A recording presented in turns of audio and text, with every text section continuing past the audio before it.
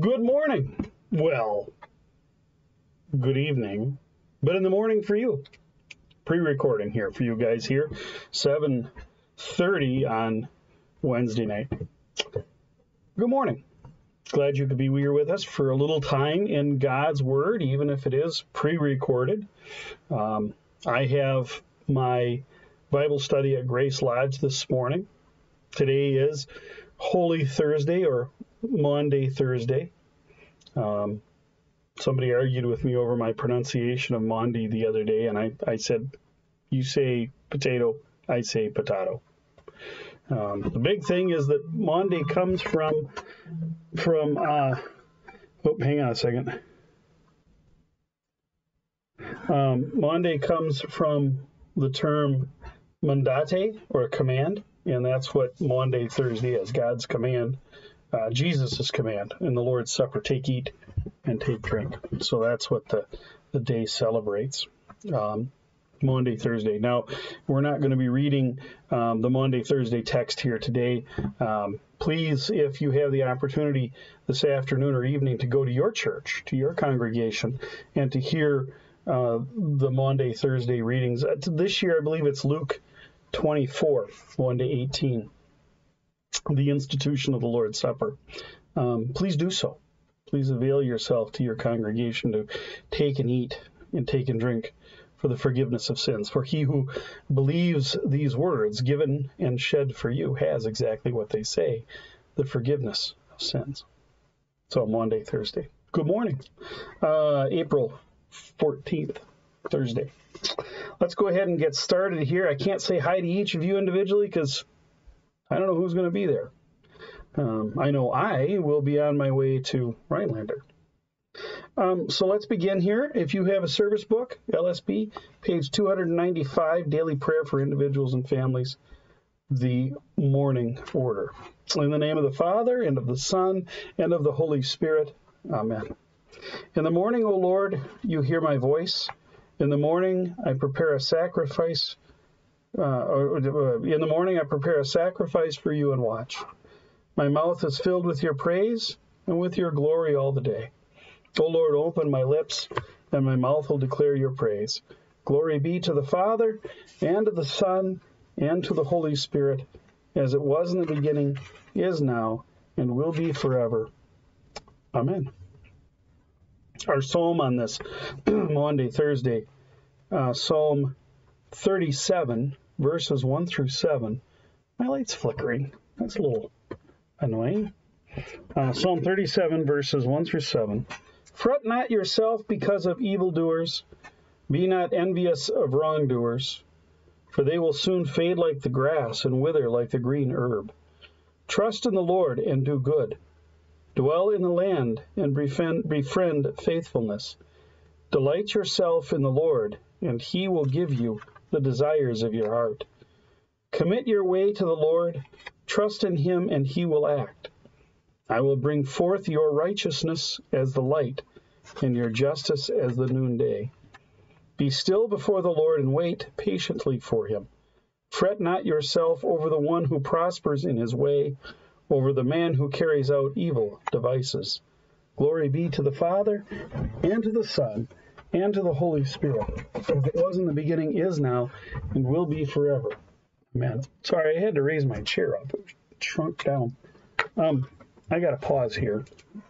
Just like in the morning before I join with you guys most times, or sometimes as we're starting, I have to clean my glasses. Well, here tonight, as I'm doing this, I have to clean them again. They've got a day's worth of yuck on them. And um, See, I'm sitting in front of lights. There's light shining in my face, and the dirt really picks up on that and causes a glare on the lenses, making it difficult, uh, difficult to see.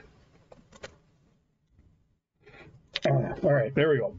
Our reading, Exodus chapter 12, verses 1 through 28. Exodus 12, 1 to 28.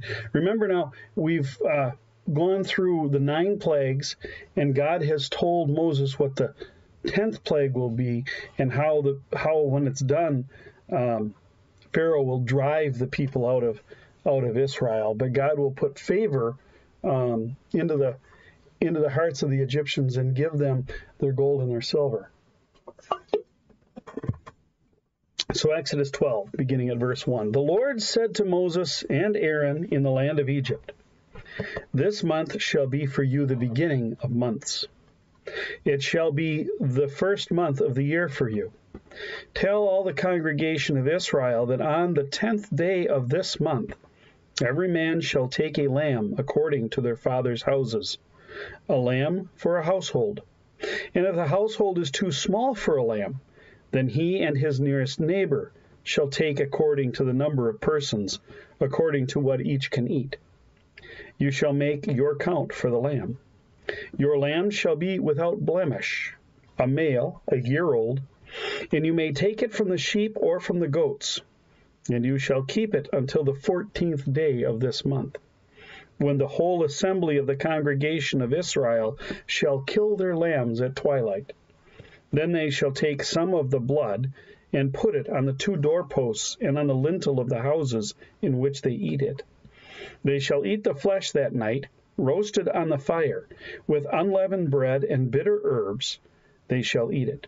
Do not eat any of it raw or boiled in water, but roasted, its head with its legs and its inner parts. And you shall not you shall not you shall let none of it remain until the morning. Anything that remains until the morning you shall burn.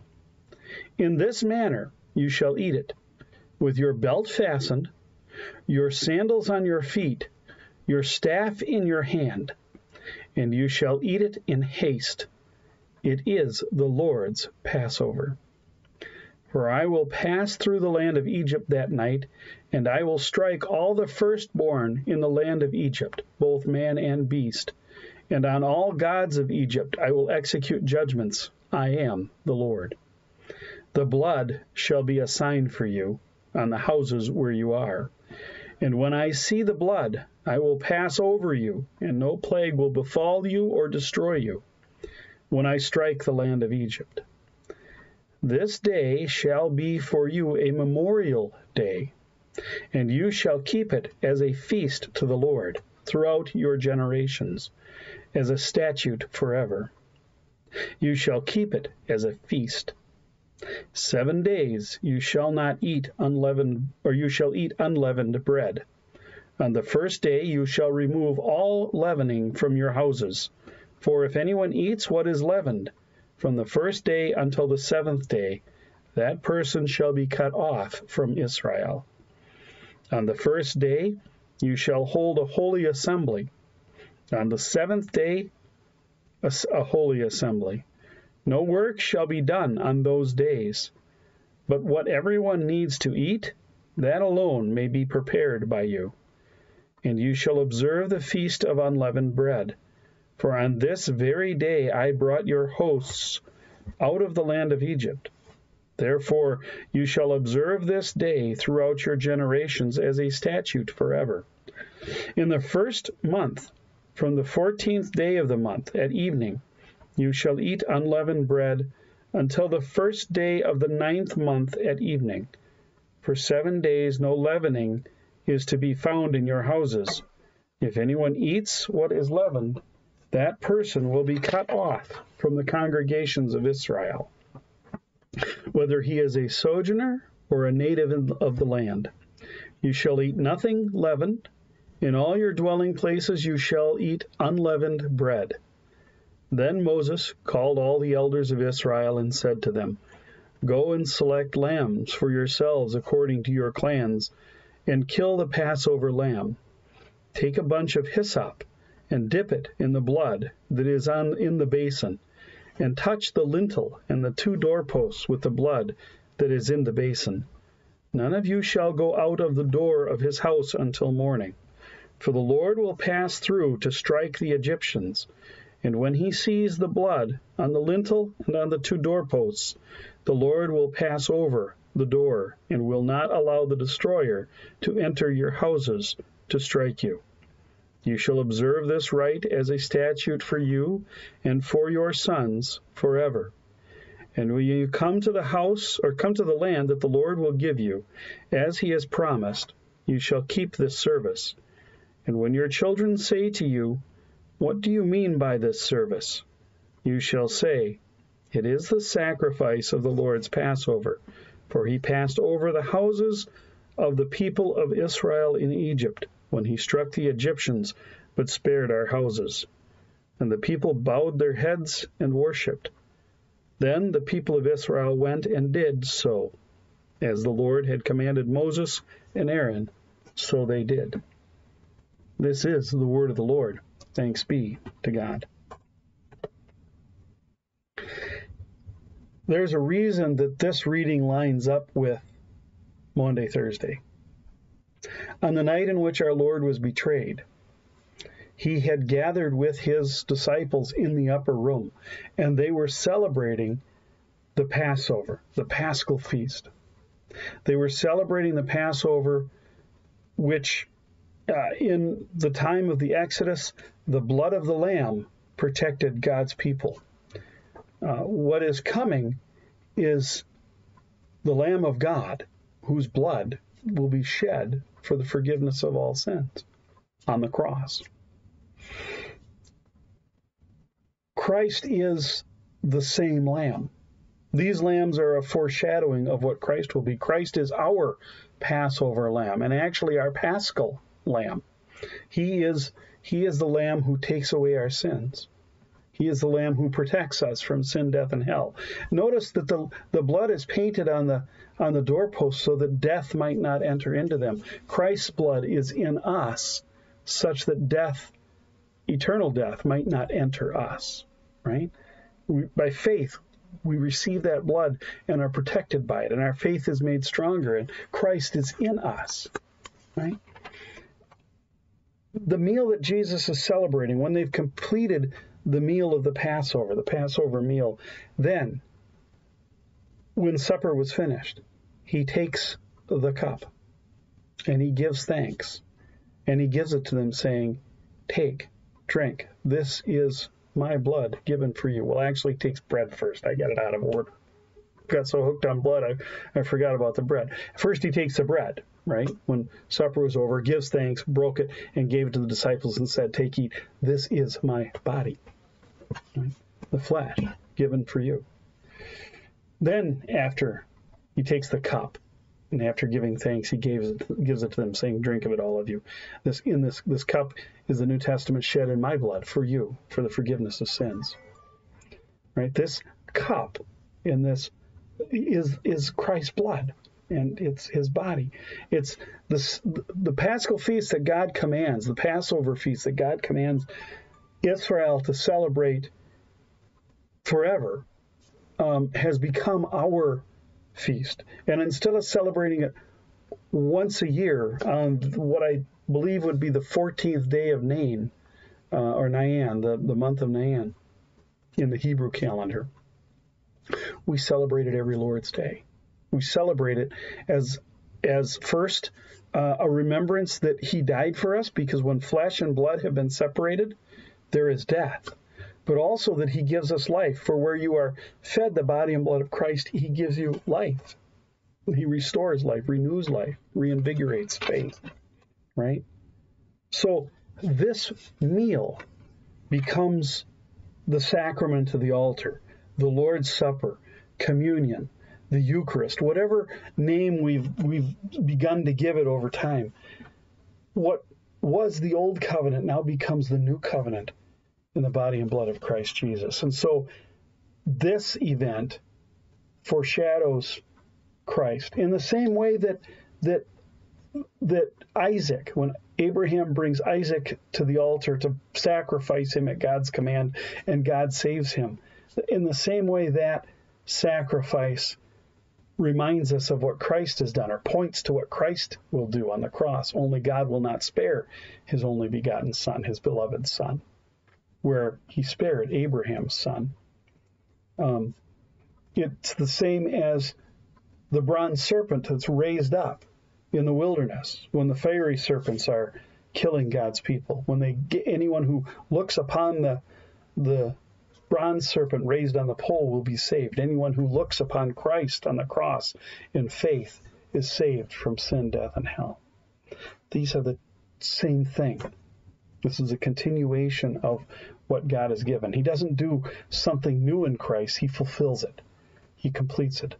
Not all the blood of beasts from the time of these lambs through God's commands uh, for sacrifice can satisfy and atone for all sin. The blood of Christ shed upon the Lamb, the Lamb of God, who takes away the sin of the world, Christ's blood shed upon the cross for you, atones for all sin. Exodus, the Lord's Supper. It's the Paschal feast, the Passover meal, the Lord's Supper. It's a continuation of what God has given us. It's a new thing, but it's the same new thing. Amen. Let's look to our prayer of the day for today. O Lord, in this wondrous sacrament, you have left us a remembrance of your passion. Grant that we may so receive the sacred mystery of your body and blood, that the fruits of your redemption may continually be manifest in us. For you live and reign with the Father and the Holy Spirit, one God, now and forever. Amen.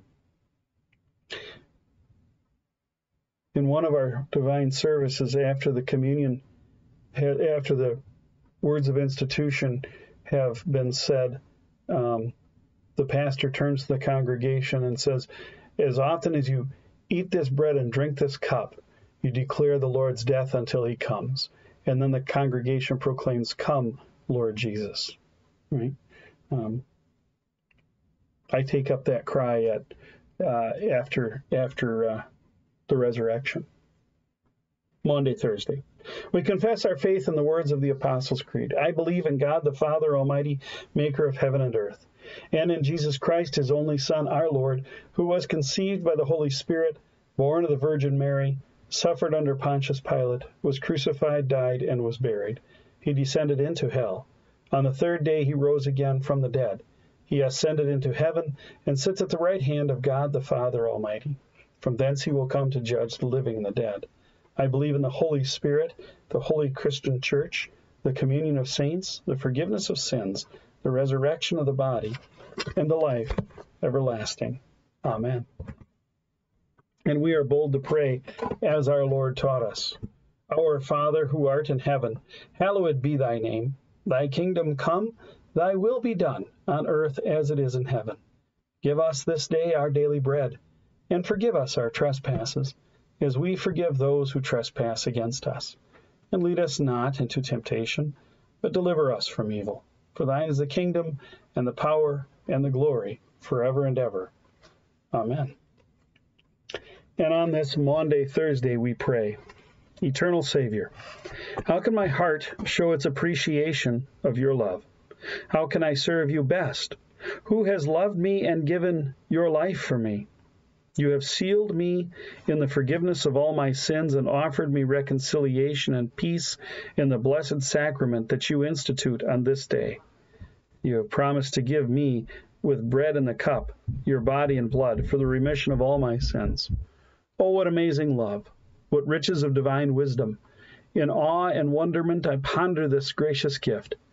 May I ever appreciate this blessed sacrament that you have bidden me to use as a memorial of your death and a monument of your redemptive love. May I come worthily each time I approach your altar. O Savior, cast me not away from your presence. Let not my sins remain with me because of impenitence of heart or because I doubt your word and your promise. Let me become one with you and all your saints as I receive with them this blessed sacrament. Make me yours and give me strength to amend my sinful life and walk closer to you. Preserve in your church this blessed sacrament given on this sacred day. Let thousands and ten thousands find through it the assurance of forgiveness, peace, and salvation, and grant that I and all who are yours may be faithful to your word and sacraments, that your name be glorified, your will be done, and we at last live with you in your eternal kingdom forever. Amen and amen. Lord God, Heavenly Father, we pray for those who are in need this day, that not only of your forgiveness, but also of your assurance and your comfort in sickness, in disease, and in suffering. We pray especially for those this day who have asked for our prayers Ashley, Peter, Karen, Olive, James, Pat, Lois, Don, and Brianne. May you have mercy upon them, and they, may they be ever mindful of the grace and the strength and the mercy that comes through your Son, Jesus Christ, who has given us his body and blood for the forgiveness of our sins. May our faith remain in it always, through Jesus Christ our Lord. Amen. Almighty God, merciful Father, who created and completed all things, on this day when the work of our calling begins anew, we implore you to create its beginning, direct its continuance, and bless its end that our doings may be preserved from sin, our life sanctified, and our work this day be well pleasing to you, through Jesus Christ our Lord. Amen. I thank you, my heavenly Father, through Jesus Christ, your dear Son, that you have kept me this night from all harm and danger. I pray that you would keep me this day also from sin and every evil, that all my doings in life may please you. For into your hands I commend myself, my body and soul, and all things. Let your holy angel be with me, that the evil foe may have no power over me. Amen. Let us bless the Lord. Thanks be to God. Well, my friends, God's blessings upon your day. Again, if you have the opportunity, if your congregation celebrates Maundy, Thursday, Maundy, Thursday, please go. Please receive the Lord's body and blood given and shed for you for the forgiveness of sins, that your faith might be renewed and strengthened, and you might be renewed in the Spirit of God. God's peace be with you, and we will see you again here Friday morning, which I won't don't think I'll be pre-recording. So Friday morning, right here with you again. God's peace be with you.